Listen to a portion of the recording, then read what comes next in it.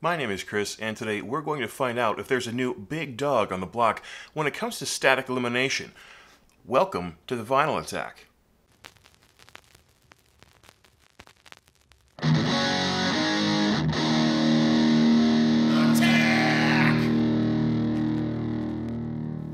Little over a month ago, I posted the video testing the efficacy and the methodology for using the Milty Pro ZeroStat 3 to remove static electricity from our records before playback. In broad terms, it was a great success for a new channel with a host of useful comments, positive support, and overall feedback. But there were some questions raised about my actions during the test that many of you wanted to see answered. Mostly this had to do with making sure I was grounded to avoid adding static to the test, which I covered in the plasma lighter test, but we'll revisit here later, and testing the record on the turntable itself, so I took note of the most consistent and major concerns that you brought to light and set them aside for a bit while I did some research. While I and the community at large were eager to see another set of tests to check my accuracy, I had other videos in the works and needed to be completed, and I wanted to make sure I was bringing the most correct information available to the new tests to avoid repeating any errors while also eliminating as many new ones as possible. After compiling a list of tests to be performed and avoided, as well as the reasoning behind each test to try and clear up any questions you might have, I realized that I wanted to test yet a different static elimination tool. For one thing, I think many of you would like to see this device tested and reviewed, and for another, it gives me an additional avenue for any mistakes to be brought up before I make the battle royale of static dissipation between the Milty, the Plasma Lighter, and this, the Furutech DStat 3. I stumbled upon this product one evening while doing a bit of research about the Milty and was instantly intrigued. Every source from which I read lauded praise upon this device and assured anyone listening, or reading I suppose, that this was by far the best product on the market for eliminating static. It had it all over the Milty, and if you were serious about your record playback and static elimination, there was simply no alternative. Its advocates were quick to point out that the DStat's ease of use with one button operation, as well as the advantage of its consistency over the Milty, made it superior in every way. There were no trigger squeezes to count, no clicks to avoid, and no arguing over the lackluster instructions that led many to devise their own best method. No, here they had video proof from the manufacturer that all you need to do is hold the D-stat above your item, hit the button, and in the case of records, move it around the grooves in a circular motion during its automatic 15 second cycle, and you were done. How could one argue with that? It's as simplistic as something could be. Couple that with the claim that it performs static reduction even better than the Milty as well, and I knew this product would end up at the show at some point. There was just one small problem. Upon searching for stores that sell the DStat, I uncovered its cost. You can probably imagine my surprise, as well as my guessing yours right now, when I tell you that this little curling stone shaped electronic device cost almost $400. Now, I'm used to the hi fi market, and specifically the arena of record collecting being a beacon for ridiculous markup on what always looks to be simple products performing simple tasks, but this was crazy. $400 for what seemed to be a glorified handheld ionizer? What in the wild world of sports made this thing so special? While I can't say specifically why Furutech priced it in the range they did, as you can see, I have one in my hand, so I obviously bought it. But let me tell you why. Shortly after finding the DStat for sale at a few vendors around the web, Music Direct had them marked at a discount. Looking back, I'd like to say that it was my dedication to making this channel the best it could possibly be that led me to instantly clicking the buy button, but a family friend named John Jameson and a few of his sons stopped by my house that evening and may have had an influence over my purchasing decision. Whatever the case, I decided to put down the 329 bucks, which is still a fair amount of money, mind you, but better than 400, and waited for the package to arrive. With Music Direct close enough to my house that I usually get things in no more than a day or two, I was quickly able to start using this expensive static eliminator on a daily basis to see what I thought of it. As described in the forums and articles I'd found around the web, this thing was, in fact, extremely easy to use and seemingly very effective at its job. Just how effective, you might ask? Well, let's grab a few records, take a few readings, and find out. Oh, and before we move on, yes, there was actually a DStat 1 and a DStat 2. The number 3 on the latest model wasn't a play on the Milty or some sort of passive-aggressive maneuver. I just thought you might be curious. To try and cover as many concerns as possible in this video, we're going to establish some baseline facts first. Many of you stated that holding the record close to my body was creating a false reading. We're going to test that now just to see what we get, but for the remainder of testing, I will in fact be grounded once again using an anti-static strap around my ankle. So I'm currently not strapped or grounded. Let's take a record and see what kind of readings we get. I'm going to use the label here to guide me and measure in four places to try to be as consistent as possible so that way we can tell if in fact the grounding strap is making any difference. There will be slight variances because it's a very sensitive instrument, but we should get a better idea. So that's a seven, five, two, three. Now I'm going to strap in, do the same measurements, and see what we get. All right, I'm strapped in. Let's take another set of readings and see if we have any difference. Six and a half, two, two, two. So not a whole lot of difference. That's not to discredit the theory that holding the record close to my body is giving a false reading. However, as we can see, there really isn't a whole lot of change. But moving forward, I will be strapped in for the remainder of the tests. Now that that's out of the way, we come to the very divisive issue of measuring static and its elimination on or off the turntable. The working theory for many of you is that since we play records on the turntable, that's where measurements should be made.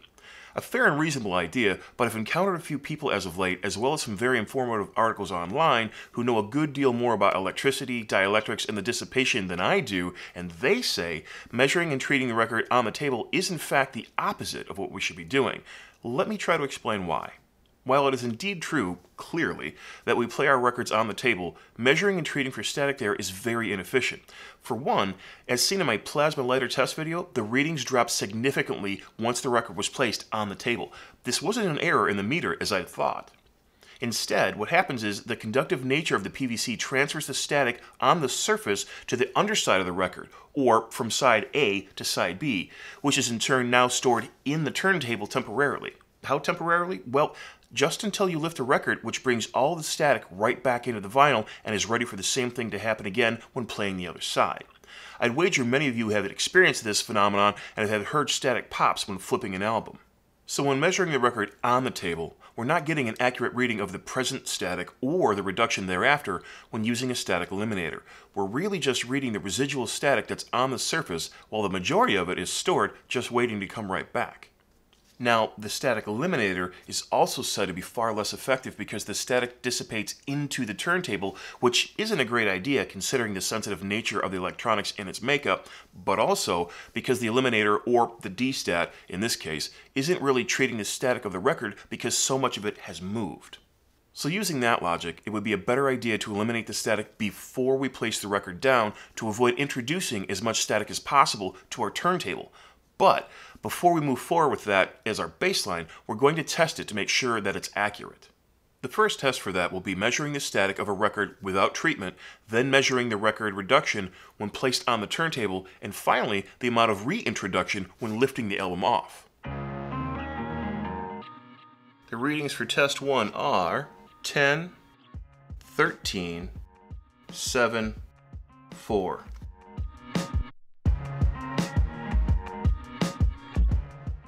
On the table we have 0.3, 2, 0.7, 0.4.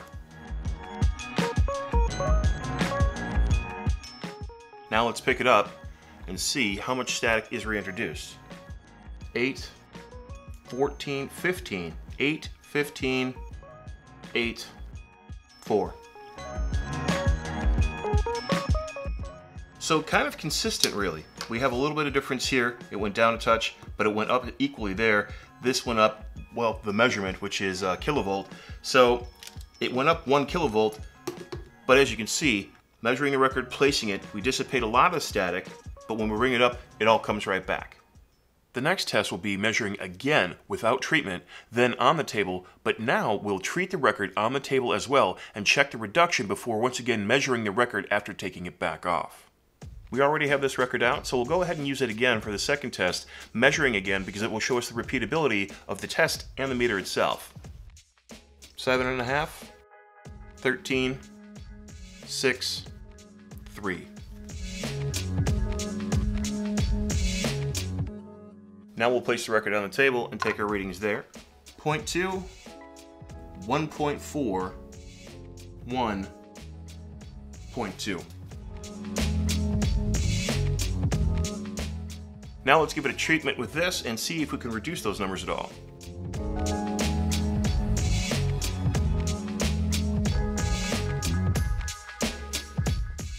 Point zero eight, point eight, point two, point two.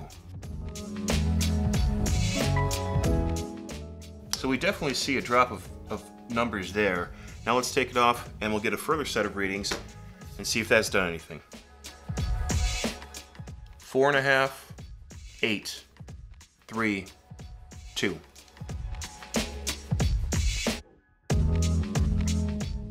So again, when we put the record down, we're dissipating a lot of the static into the turntable. We did the reduction, which worked uh, a little bit here. Definitely it did some work here. But then when we picked the record up, the static all came right back. So treating a record here isn't doing a great job of actually treating the record. Finally, for the baseline testing method session of today's holy crap that's a lot of numbers in a YouTube video segment, we'll test the record off the table, treat it off the table, and measure that reduction. Then we'll place the record and take a reading of that on the turntable, and finally measure it one last time after picking up the record. For the next test, I'm going to do it twice. Once with the same record, because we do have increased numbers once again, and then once with a new record to check for consistency. Four and a half, ten, three, two.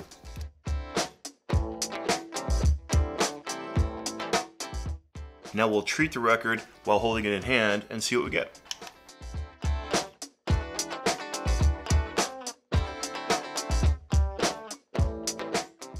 Point one, point two, point two, point three.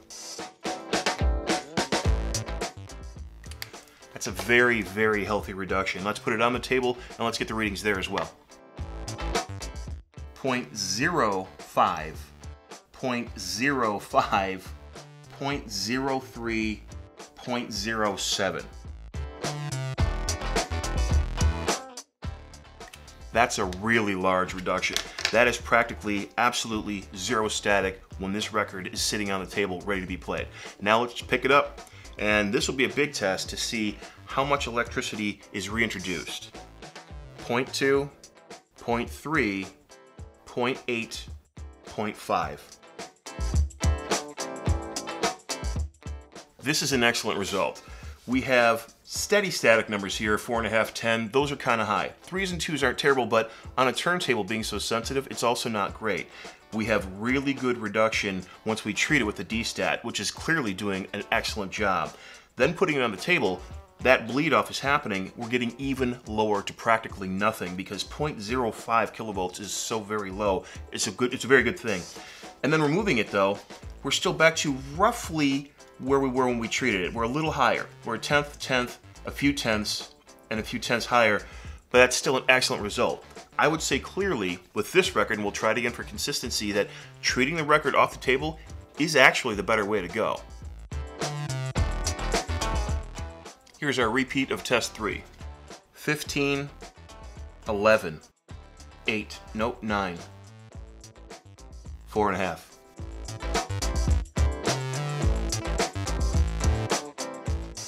treat this again.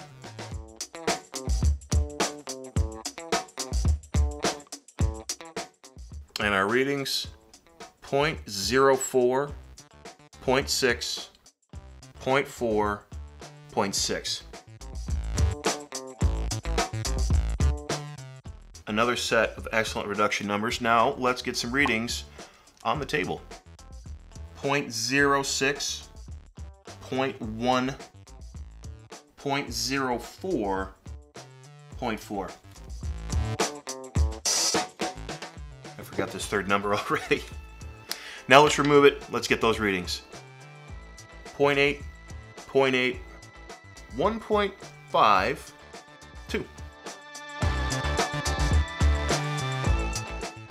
I would say that empirically shows consistent proof that reading the record and testing the record are the better way to go. Well, reading because we get the higher number. We're seeing an actual number of what this is in a freeform space versus while static is being dissipated. Then treating it that way shows obviously reductions, very good reductions. This is a very effective tool. Putting it on the table shows us that it's going to lower it even further, which is impressive. And picking the record back up, which is key, we're not reintroducing a boatload of static onto the record. Matter of factly, I would have no trouble flipping that record over, putting it down, with a quick dust and playing it again, we don't really need to treat the second side, I don't think. So we've established what our baseline testing should be now and moving forward until proven otherwise, so what's left to test of this thing then? How about a few more tests of its effectiveness? Let's take a few records, measure the before and after with just one cycle of the DStat, and see how it performs. 12, 13, 8, 4.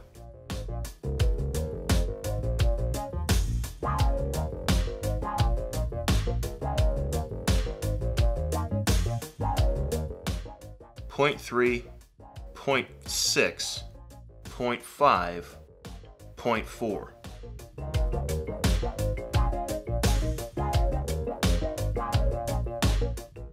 Fourteen, eleven, eleven, six and a half.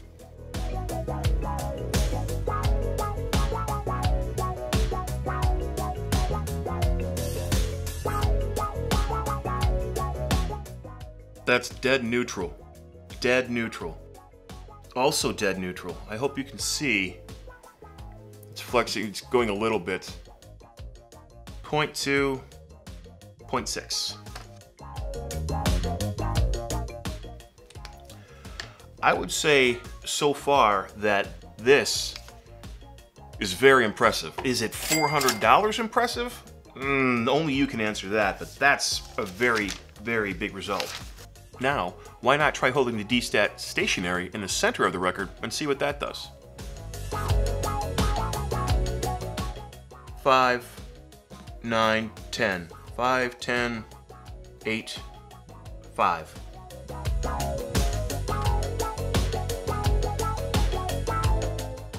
Let's see what happens if we do stationary.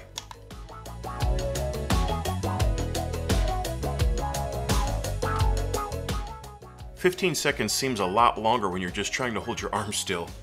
0.7, 0.1, 0.7, 2.2.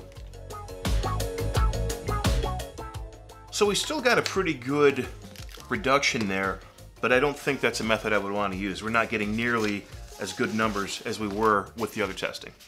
Next, let's take a couple of records and test the D-stat after using two cycles and see what difference, if any, we get. 9, 14, 10, 6. Let's run it twice and see what happens.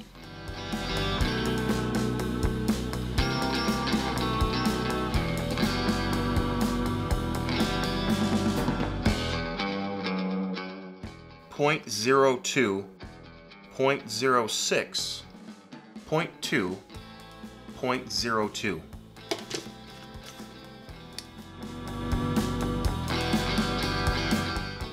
That's a very big difference, but honestly, I don't see a whole lot of difference between the seventh record and the fifth record. We only ran that the one time, and our result was outstanding. So it might not be a case of more equaling better this time, but we'll try it again anyway. 12, nine, six, three. We'll run it two times.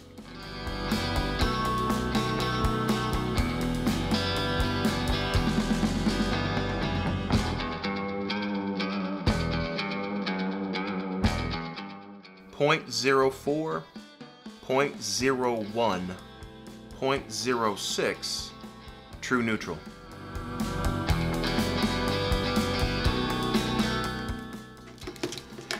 Well, I think for consistency's sake, these tests have performed very well. The DStat works amazingly well. I'm very surprised. I do want to do the mashup video where we test them all, but I have a feeling I already know who's going to win. Now, clearly, I am not in a scientific laboratory.